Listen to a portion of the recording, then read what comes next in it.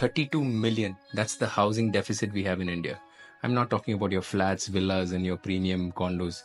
I'm talking about housing, which is low cost housing. The requirement for these houses will only keep increasing. Precast concrete technology can solve this problem. Not Mivan, not your traditional construction, precast concrete technology. I say this because the general assumption is that when you build something fast, you lose on quality. That does not happen with precast technology.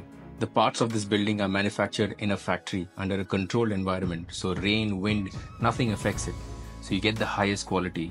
And once they're ready, they're delivered to site. The advantage is when you're doing excavation on site or when you're doing site work, for example, preliminary site work, all the elements can start being produced in the factory. So as soon as your site is ready and your foundation is ready, you can then deliver these elements to site.